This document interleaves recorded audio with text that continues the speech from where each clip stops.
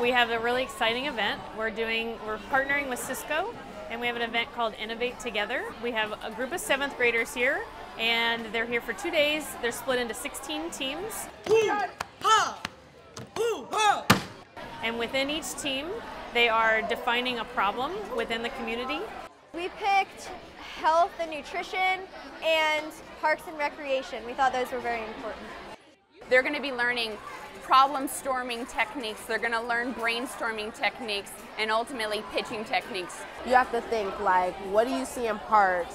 What's wrong with social service? Um, health and fitness. You just have to think outside the box.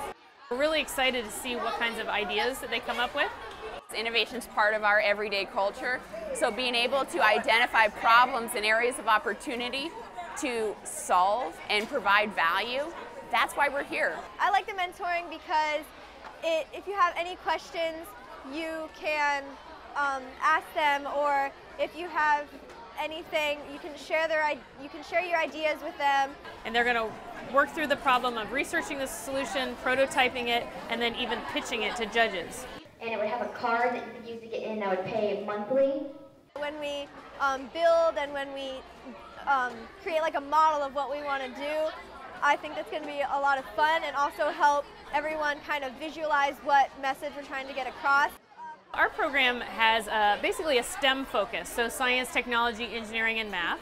And in this event, they actually have a hands-on example of what it'll be like to pull all of those things together in a job. I think it was awesome that, that they actually had a prototype that they used and that they presented, some of which worked all the way, picking either trash up or um, using solar power to propel itself. It was impressive. As we put all our effort into it, we're either going to come out on top or at least if we put all our effort into it, we know that we did the best that we could.